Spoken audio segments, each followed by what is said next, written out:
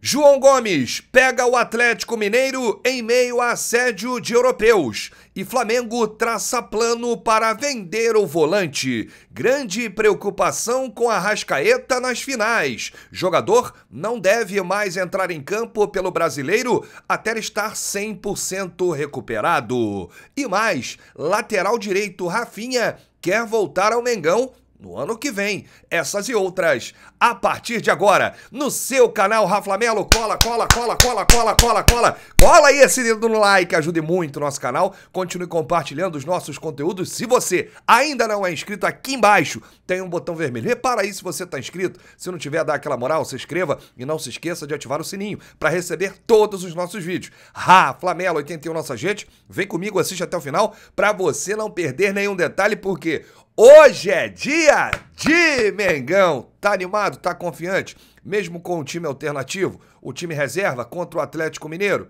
Hoje, 8 e meia da noite no Maracanã? Deixa aqui nos comentários o seu palpite, o seu placar para o jogo de hoje. E antes das informações do Flamengo, esse vídeo é patrocinado pela 1xBet, o maior bookmaker do mundo. E a 1xBet tem cooperação aí com Liverpool, Barcelona e outros grandes clubes pelo mundo. E tem todos os esportes, gente. Tem campeonato brasileiro, tem ó, campeonato inglês, campeonato alemão, campeonato francês, campeonato espanhol tudo que você quiser ainda tem o esportes, que são os esportes eletrônicos. Se você fizer o cadastro agora e utilizar o nosso código RAFLA, só esse código RAFLA, você ganha 100% no primeiro depósito. Você vai ganhar em dobro. Se você fizer 10 reais, você fica com 20. Se você fizer 50 reais, você fica com 100. Se você fizer 100, você fica com 200. É isso mesmo, não perde tempo. Utilize o código RAFLA na 1xBet e vamos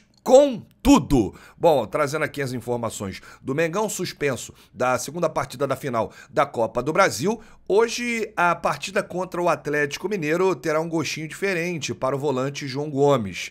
Não é o Tite que estará no Maracanã observando o atleta, e sim os alemães do Bayer Leverkusen. Todo mundo lembra que o Bayer sinalizou com uma oferta de 15 milhões de euros para levar o atleta, e eles estavam lá na Arena Corinthians naquele primeiro duelo da final da Copa do Brasil e estarão hoje no Maracanã. Bom, eles tiveram uma pequena sorte, né?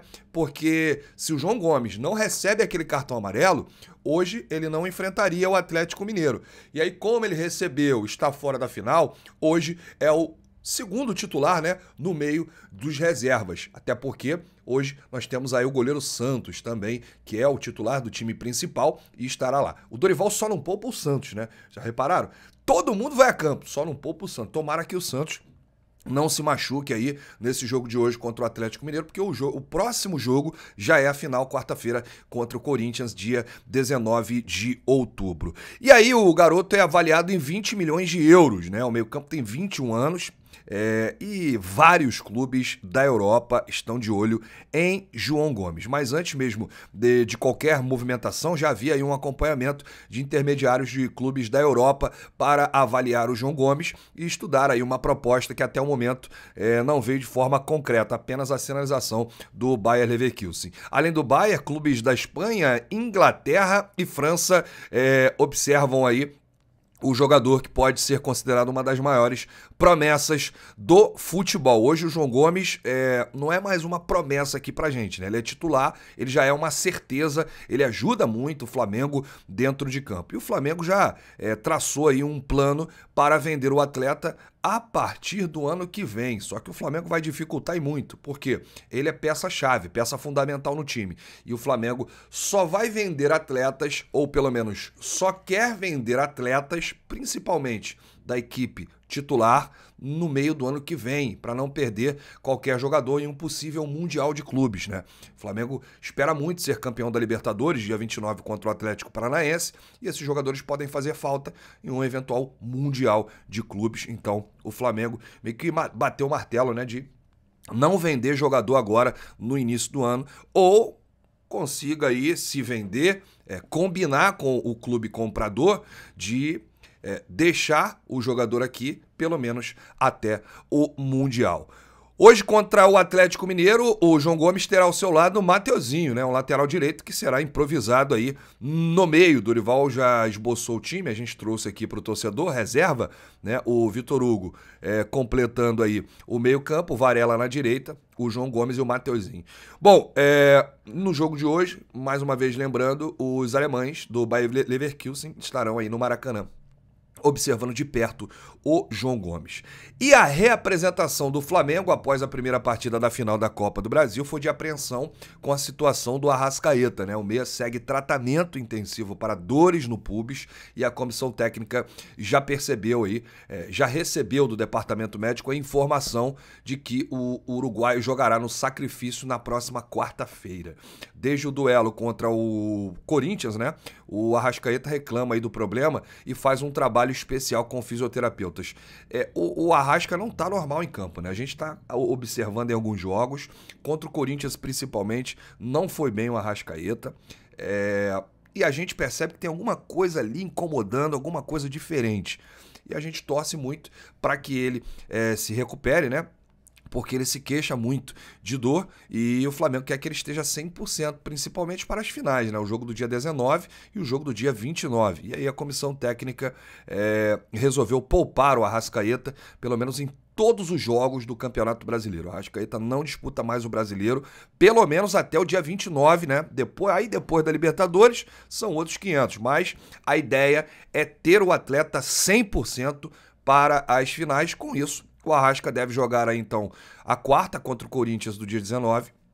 Depois ele deve ser poupado nos dois próximos jogos e aí ele volta a campo no é, Equador, em Guayaquil, contra o Atlético Paranaense. Então ele deve ser preservado aí de todos os jogos pelo Campeonato Brasileiro. Tá certo aí, tá certo aí o Flamengo, porque tem que ter ele 100%.